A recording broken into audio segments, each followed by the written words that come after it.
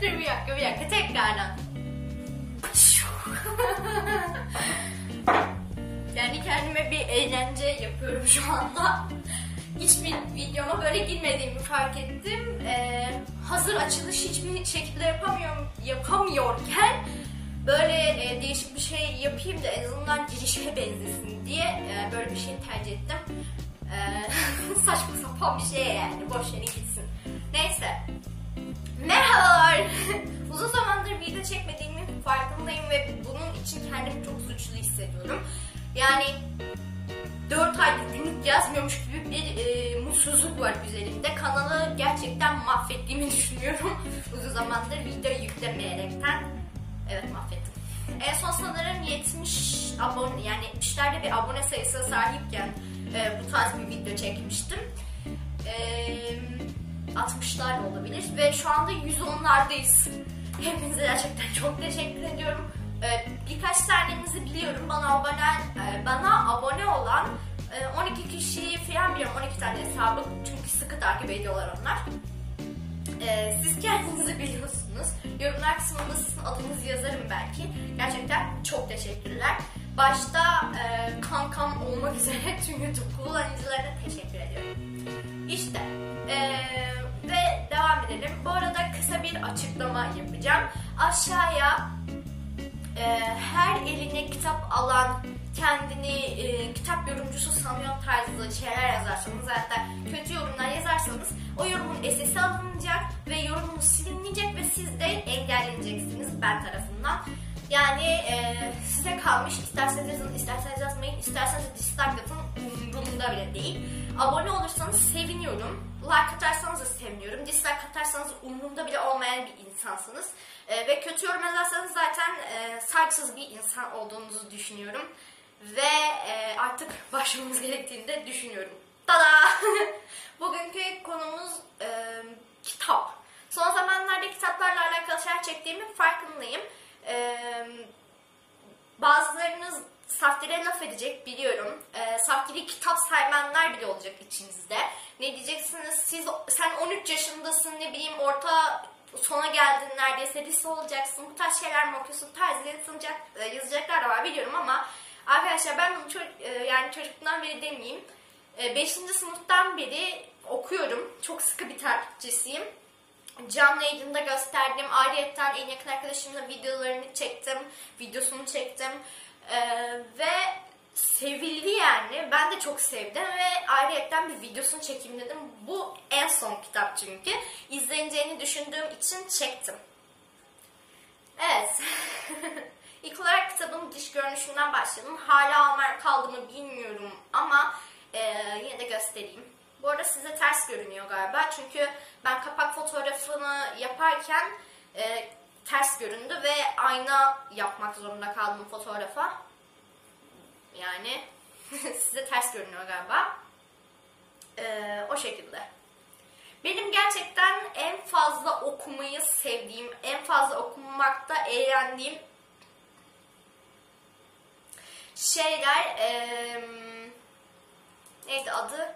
Komedi e, kitapları. Çok affedersiniz konuşamadım. E, mesela 4 n 1 K'da da çok eğleniyorum. Çünkü o da bir komedi kitabı. Okuyanlar da çok fazla var. E, ama Saftiriye'nin ben, bende gerçekten çok ayrı. E, içini şu şekilde gösterirsem şöyle görmüş olacaksınız. Kaç günde bitti diye sorarsanız 3 günde bitti. 3 günde her gece okudum ve bitti yani en sonunda. Bunun da çizimleri çok güzel. Şimdi arkadaşlar konusuna geçelim.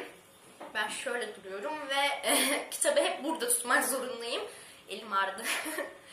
Kitabın konusuna gelecek olursak e, saftirik e, okulların saftirik değil Grek ne saftirik Grek ok, e, kış havalarından birinde e, yaşadıklarını anlatıyor bu kitapta anladığınız üzere.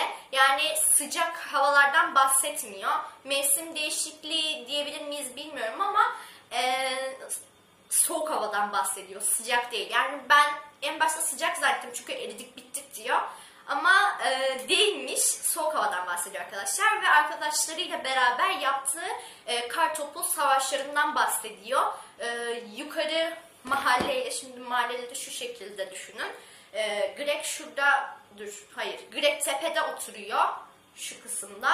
E, diğerkiler de burada oturuyor. Yeni karakterler girmiş. Yine 2-3 tane yeni karakter var.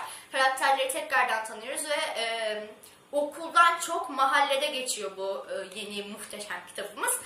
E, ve çok iyi. Özellikle özellikle beni benden alan muhteşem bir yeri var. Onu göstereceğim hemen size.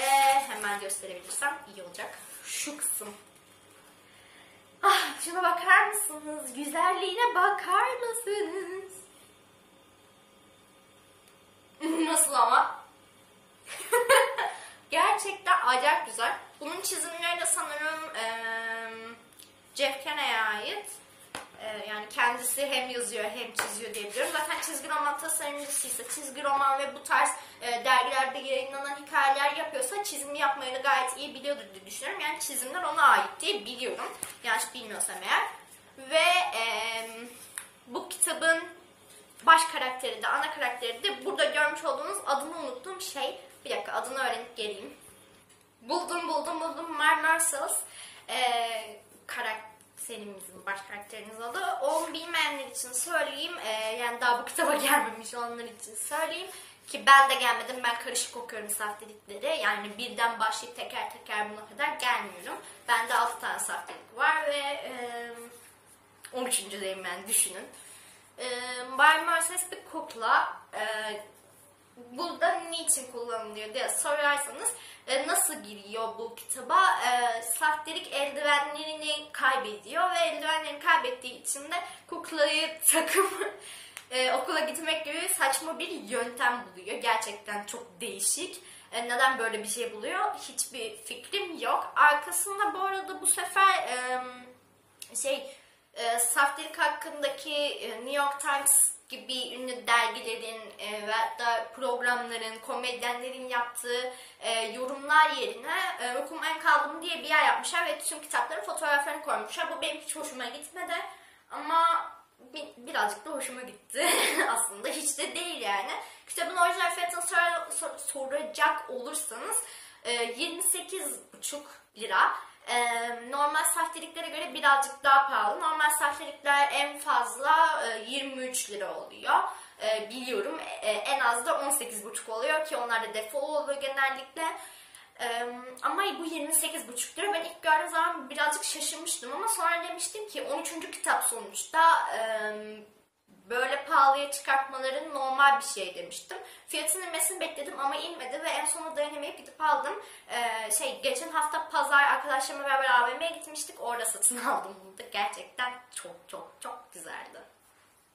Açıkçası ben kitabın çok çabuk bittiğini düşünüyorum. Özellikle ortalarına yaklaştıkça e, çok çabuk bitmeye başladı. Böyle dedim nasıl ya bir anda bitti falan diye çok hızlı geçti geç- geçti bitti. Daha e, uzun e, daha kalın bir kitap olabilirdi. Zaten e, böyle bir performans bekliyorum Jeff Kinney'den.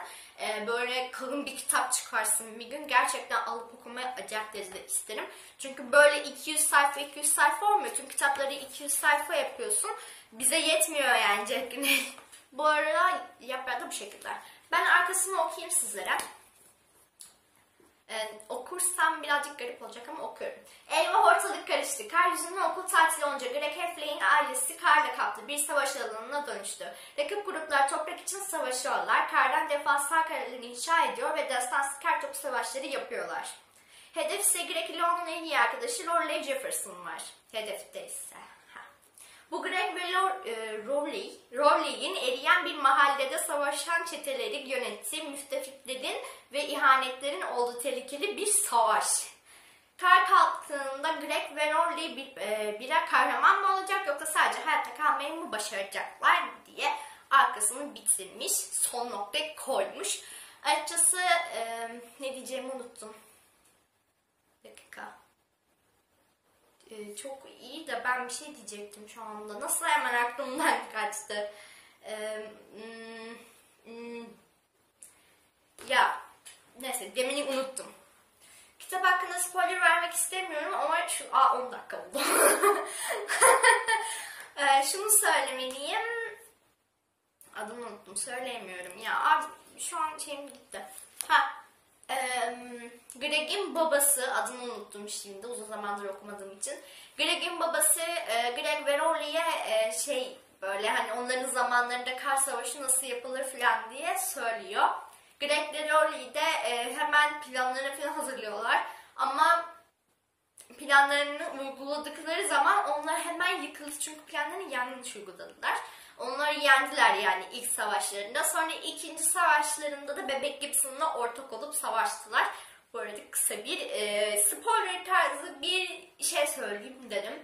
E, benden küçükler, yaşıtlarım ve belki belki belki benim gibi sahte seven varsa benden birazcık daha büyükler ki izliyorlar mı bilmiyorum okuyacağınızı düşündüğüm bir şey. Benim yorumum kitap hakkında bu kadar ve kitabın gerçekten harika, kral muhteşem bir şey olduğunu söyleyebilirim. Beni izlediğiniz için teşekkür ederim. Kanalıma abone olursanız çok çok çok sevinirim çünkü büyümeyi gerçekten istiyorum.